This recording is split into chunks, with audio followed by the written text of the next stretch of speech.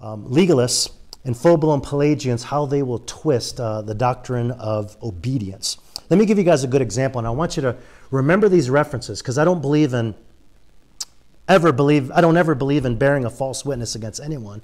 I believe if you make a charge against someone, you provide evidence. Well, I think I shared with many of you guys today that I wrote a rebuttal to John MacArthur's book on the Lordship Salvation controversy.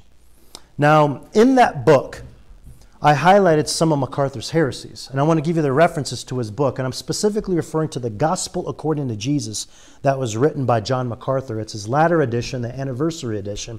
But let me tell you how a true legalist defines obedience. But you're going to have to be careful. I'm going to give you an important disclaimer here.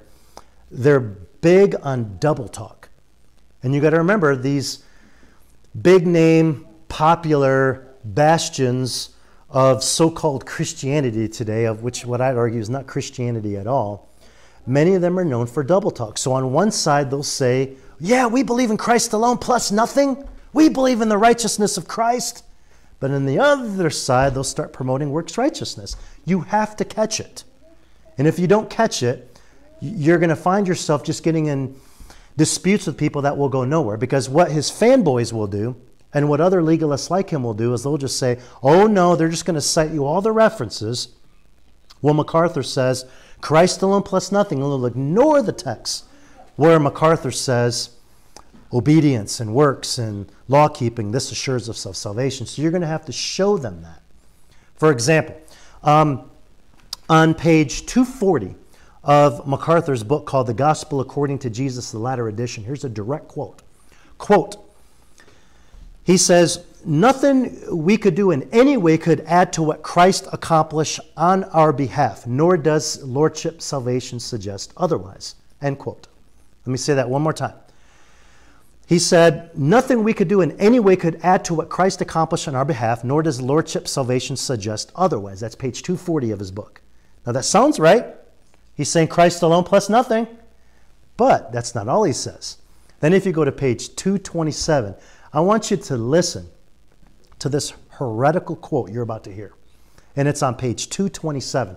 MacArthur says, Obedience, quote, obedience to divine authority is a prerequisite of entrance into the kingdom. End quote. Let me say that one more time on page 227. Obedience to divine authority is a prerequisite of entrance into the kingdom. End quote. So he says Christ alone plus nothing, but then he says obedience is a prerequisite of entrance into the kingdom. And people are too blind to see this. So, you know what you want to say to people who want to defend him, and they say, oh, yeah, but he says on page 240 it's Christ alone plus nothing. What you're going to want to do is say, let me ask you a question. So, if your pastor says, I love my wife, but then you saw him out in town with other women, are you going to say, well, we have to take him at his word? He says he loves his wife, so forget the fact that we saw him out in town with other women. After all, he says he loves his wife, so we just have to take his word. If you're going to be that intellectually dishonest, then there's really not much I can do to help you. That's what you're going to have to say to them. Because that's honestly what people do with, when it comes down to their favorite idol that they call a pastor. And I believe that's heresy.